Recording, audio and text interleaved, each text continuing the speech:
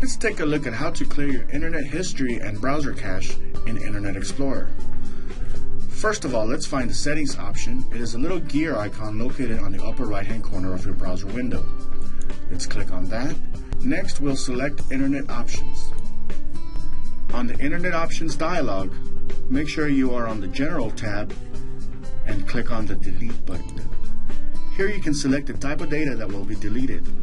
It is important to note that if you are currently on a session with a technical representative at HostGator, you do not remove the cookies and website data, otherwise you may lose your chat session.